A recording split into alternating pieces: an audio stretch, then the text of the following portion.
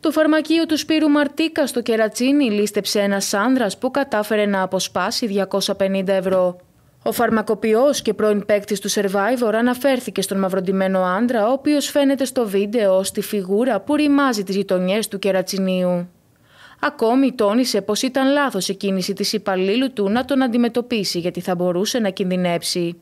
Σημειώνεται πως η ληστεία συνέβη το απόγευμα της Δευτέρας 13 Νοεμβρίου.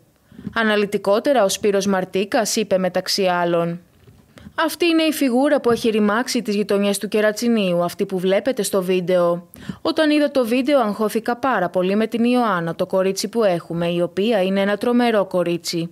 Ήταν λάθος όλος αυτός ο χειρισμός γιατί δεν έπρεπε να τον αντιμετωπίσει, έπρεπε να απομακρυνθεί, να του πει πάρε ότι υπάρχει εκεί πέρα και φύγε.